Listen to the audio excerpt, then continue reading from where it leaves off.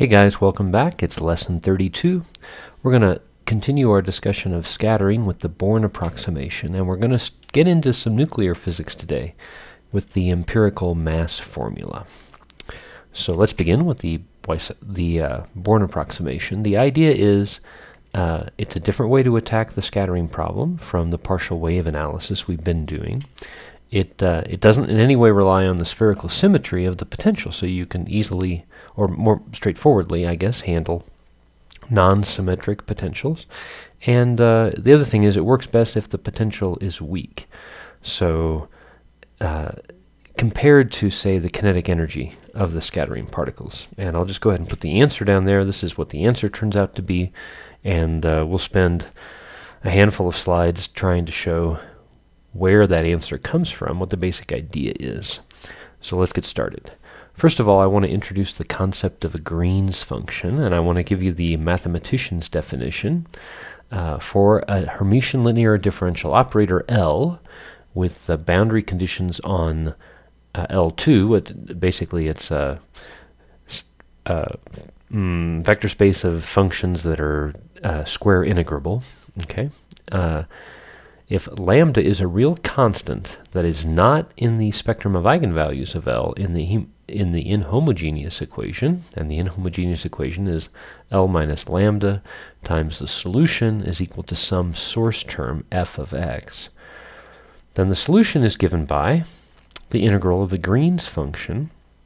And I want you to look at the, the Green's function. It's an integral over uh, y, but the Green's function is a function of two variables, x and y. And the way you think about it, it's that the Green's function is a solution to the problem of a delta source. So the idea is um, if you have a delta source at y, what's the response of what will be the solution at x for a delta source located at y? That's kind of how you think of it. So that if you uh, if you want to ask what happens if I have a distributed source, you could basically think of it as a superposition of delta sources. Now, we already do this. You guys are familiar with this in the context of uh, electrostatic fields and the resulting uh, potential from uh, point charges. So a point charge is basically a delta source of charge, and once you know the solution to a point charge, you can calculate the potential to any distribution of charges by adding them up. That's basically what this is saying, except that um, the solution for a point charge, the static field of a point charge, is different than the solution of the Schrodinger equation for a point uh, mm, wave source, but it's, it's the same idea. So first of all, let's figure out what the solution to a delta source is. Well, let's say we could get the solution to a delta source, then we can get the solution for any source by adding up the solutions of a bunch of delta sources. So the idea is if we have some distributed source f of x, we could think of it as f evaluated at x1 times the delta function at x1 plus f evaluated at x2 times the delta function at x2, something like that. So you could think of the source as sort of an integral over point sources. And then if you want to know the solution, you simply find the solution to a point source. That would be the Green's function, is the solution to the point source. And then to get the overall solution, you simply superpose all those point sources and add them up to get the solution for the distributed source. That's the idea. Okay, so we could write out the solution as the Green's function for the point source at x1 times the Green's function for the point plus the Green's function for the point source at x2 times the size of the point source at x2 and so on and then add all those guys up to get the total solution. Okay, so how do we apply this to the scattering problem? Well, we need to find a way to think about the scattering problem as a bunch of point sources whose solutions we can add up. So the idea is the operator L is going to become del squared. That's the kinetic energy operator from the Schrodinger equation. And uh, then the idea, this is uh, in the part of space where the Schrodinger equation is del squared. Then the um, the eigenvalue, or the lambda, the thing that plays the role of lambda, is going to be the essentially k squared, the wave number squared, and uh, and the source term is going to be the potential times the wave function. So we sort of flip the Schrodinger equation around, move the potential energy to the right-hand side, and the kinetic energy and the total energy, k squared is basically going to be the total energy, um, over to the left-hand side, and then it looks like this. So this is the uh, this is the the way the thing turns out, and um, notice that you can identify uh, f as the right-hand side. It's the source term, and so you can simply write down the answer once you know the Green's function. There are a couple of things I want to add to that. Um, you can add a solution to the homogeneous equation.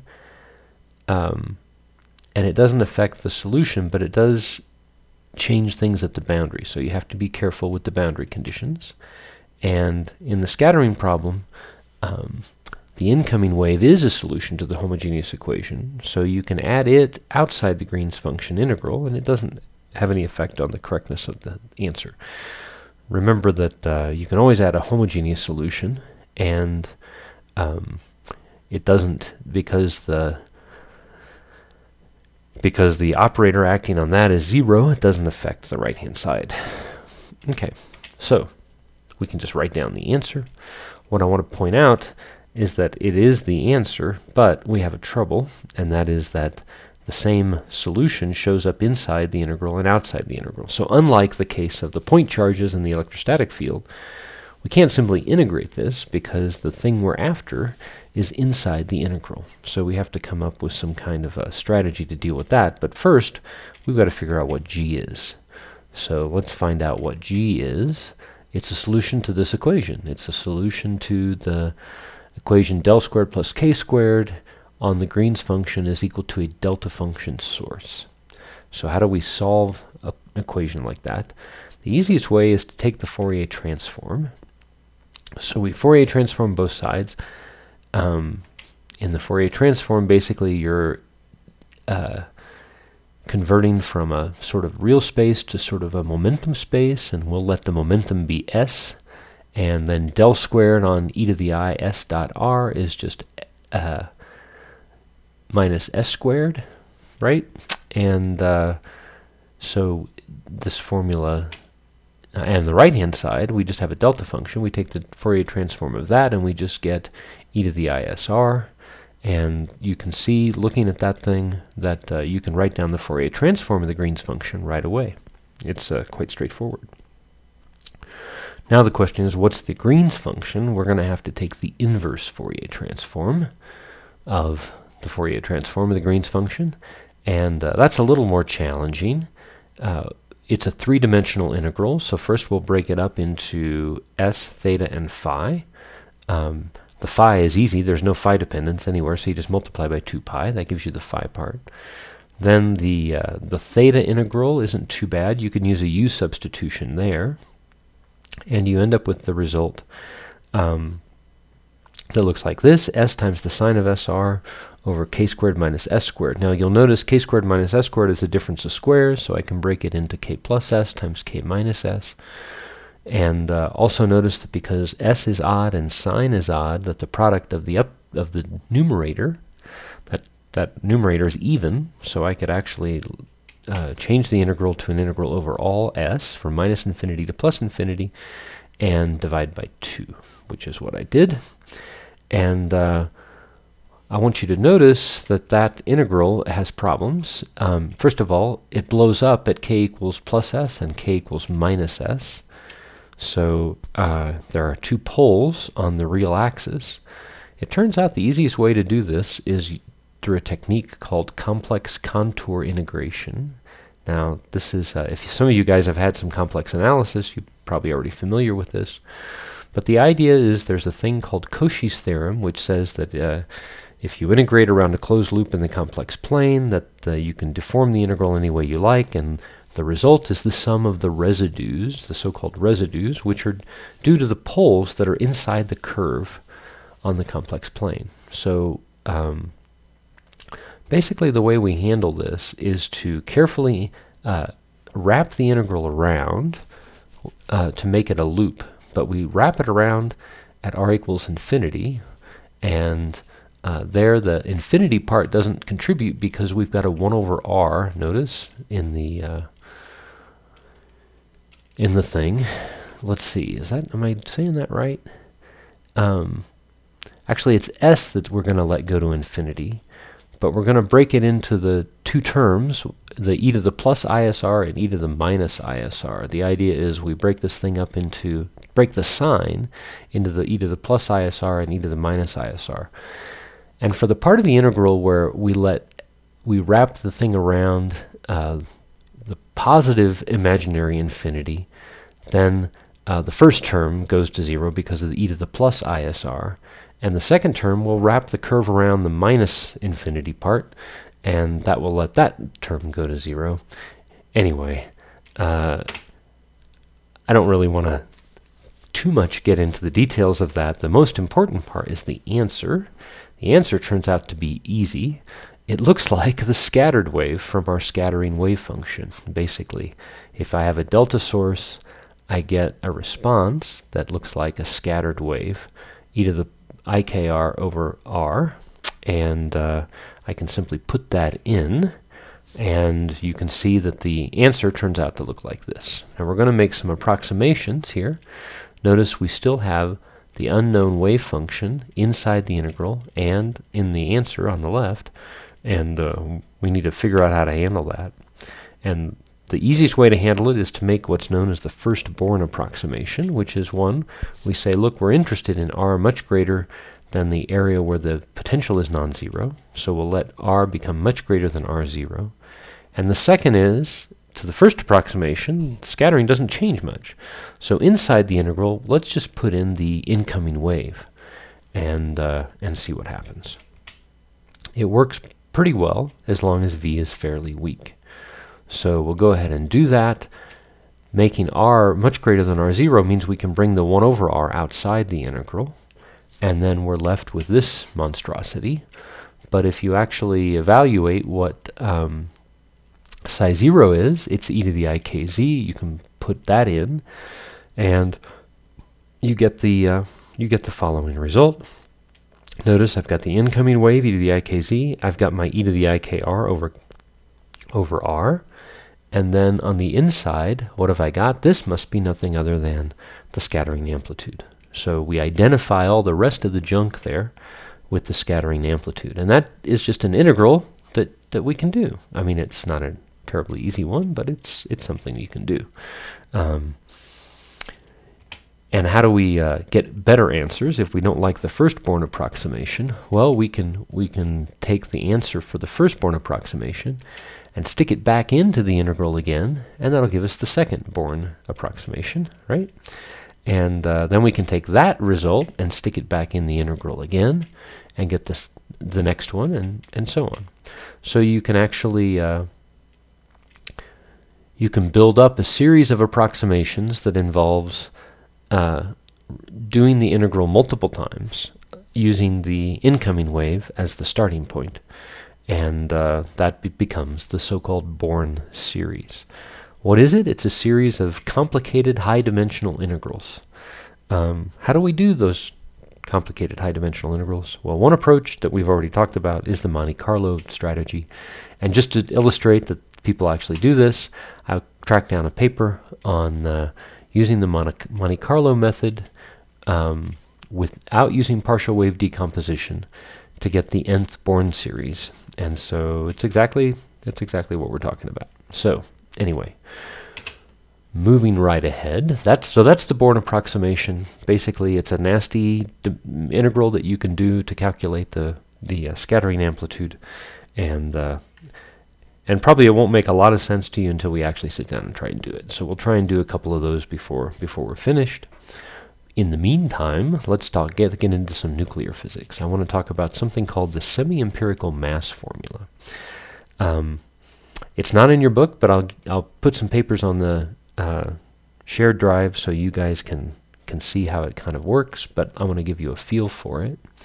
Basically, it's a formula that you can use to estimate the energy, the binding energy of any nucleus, given its uh, number of protons and number of neutrons. And it's not exact. It's uh, that's why, and it's semi-empirical, but it has uh, some theoretical inputs, and it gets you in the ballpark. It gives you a sense of uh, whether something's going to be stable or not, and if it's not, why isn't it?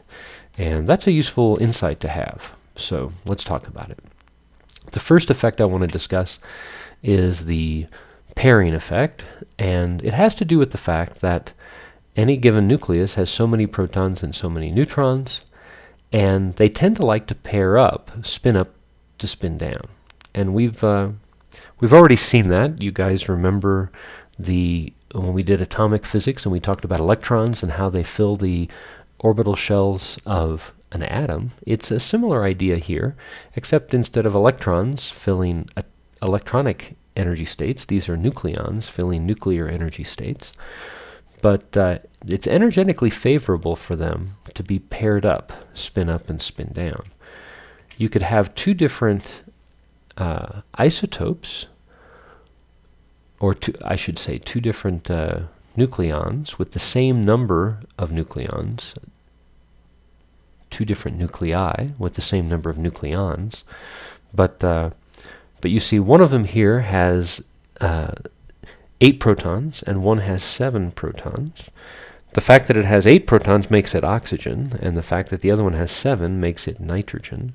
But notice that um, even though they have the same number of nucleons, because of the uh, fact that the nitrogen is odd odd, um, it means that one of the nucleons is up at a little bit higher energy. So um, these guys like to pair up, and you can also see that there's an advantage to having an equal number of neutrons and protons because that keeps the energy levels about the same. Um, if the number of neutrons and protons were very different, you could lower the energy by converting some neutrons to protons, and that's essentially what happens. So um, there's also the Pauli exclusion principle, which uh, brings in some some other ideas. Uh, remember that exchange forces are attractive for symmetric and repulsive for antisymmetric wave functions. So you remember that from uh, when we discussed the Pauli exclusion principle with electrons and atoms, but it's still true today, still true with nucleons and nuclei. And uh, also remember that the Kinetic energy of a wave function is lower for a symmetric and higher for antisymmetric wave functions. And finally, um, particles in symmetric wave functions can get close together. Particles in antisymmetric wave functions are forced to remain far apart because there's a node in the middle. And uh, in, when we're talking about nuclear force, close together means lower energy, far apart means higher energy. So there are multiple reasons here why um, identical nucleons like to be in symmetric states. And of course, to be in a symmetric wave function, spatial symmetric wave function, you've got to be an anti-symmetric spin wave function. So that's another reason why they like to be paired up, spin up and spin down. Now, there's also the charge effect. So we know that uh, protons have charge, ne neutrons don't. So, and because uh, they all have positive charge, it means they repel each other. So that means that as the nucleus gets larger and larger, um, protons, uh, there get to be more and more protons, and that the fact that they repel one another starts to have an impact on the energy of the uh, nucleus, the overall energy of the nucleus, and so you don't see that the number of neutrons and protons stays equal as the size of the nucleus increases, and that has to do with the charge effect, the the fact that the protons repel one another. So let's actually look at the darn formula. It's the uh, semi-empirical mass formula.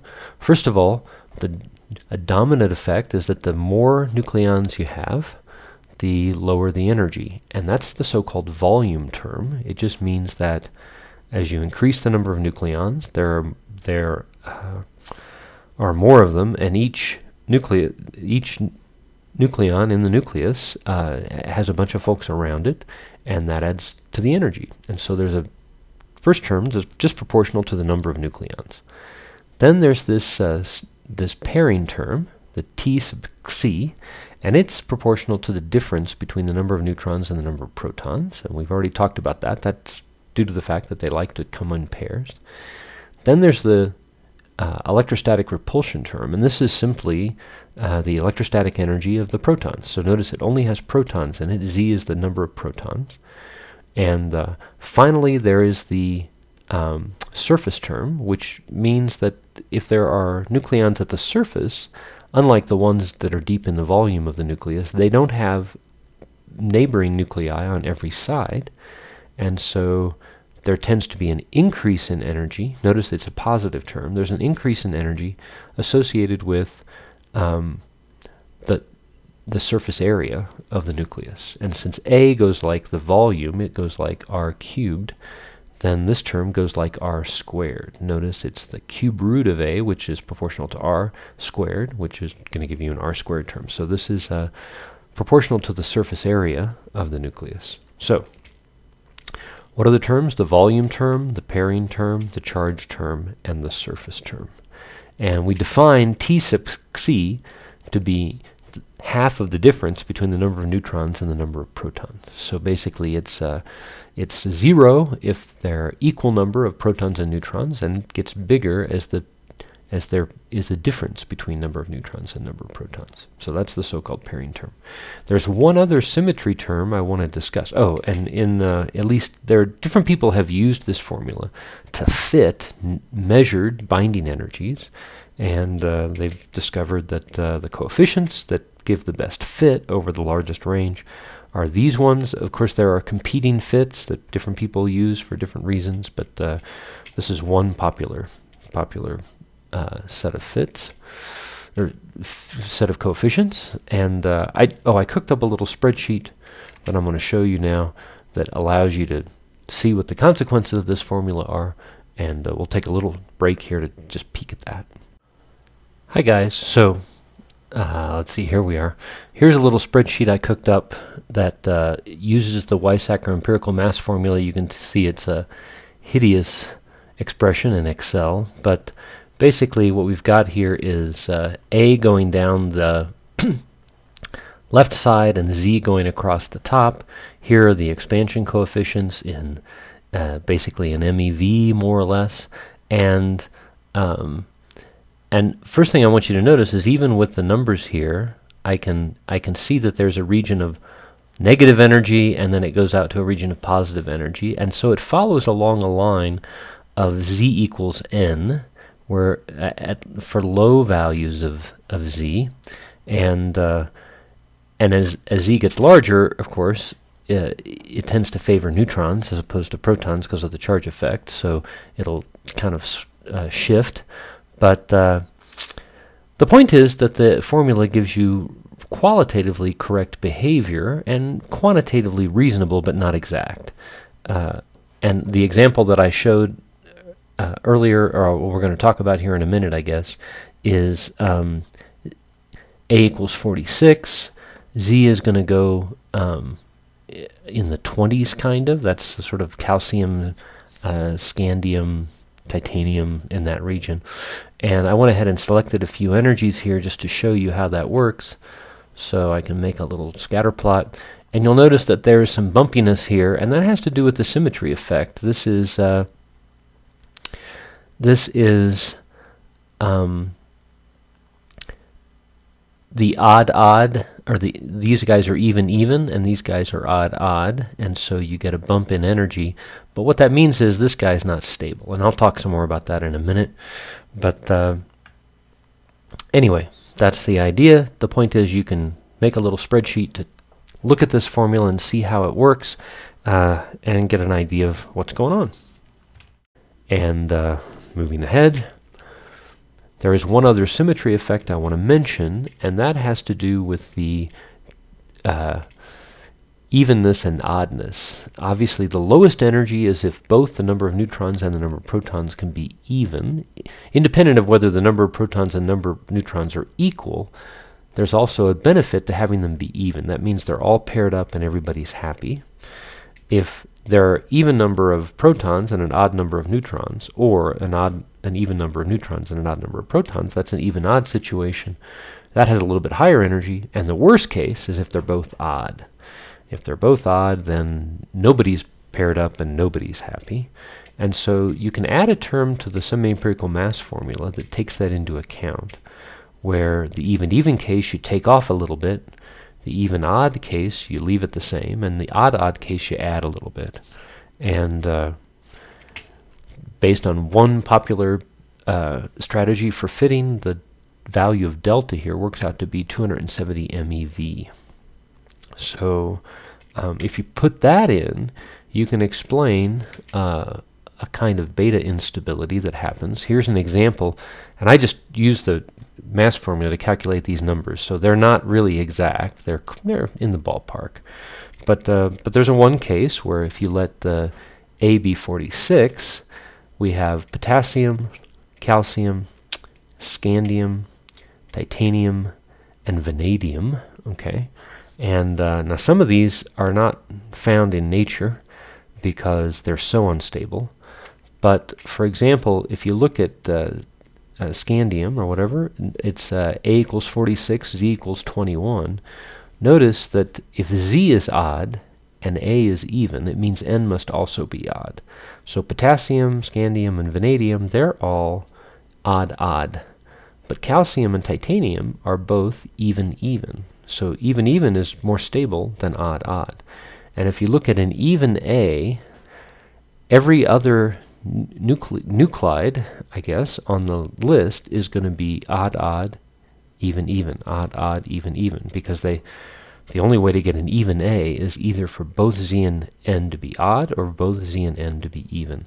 And so that gives you a big energy difference. And notice that uh, by emitting a beta minus, one of the uh, neutrons in scandium can change to a proton and that will bump up its Z by 1, and so scandium is unstable to beta decay to titanium. It's also unstable by electron capture to calcium. So there's two ways to, to go down in Z. You can either emit a beta plus, or you can capture an electron from the uh, atoms that are orbiting the one of the s electrons in the in the uh, atomic electronic structure and convert a um, basically you're going to convert a proton to a neutron. And so you're going to go up in N and down in Z.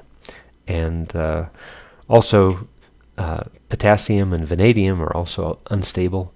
Um, it turns out a lot of the times only one of electron capture or beta plus emission occur because one is much more likely than the other.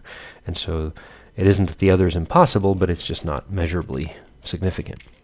So anyway, that's the idea. The point is, using the empirical mass formula, you get a good idea. These numbers, by the way, were calculated from the empirical mass formula, so they're uh, ballpark, but not, not exact. Um, the point is that you can get a sense of what's going on in terms of stability using that formula. And that's it for today.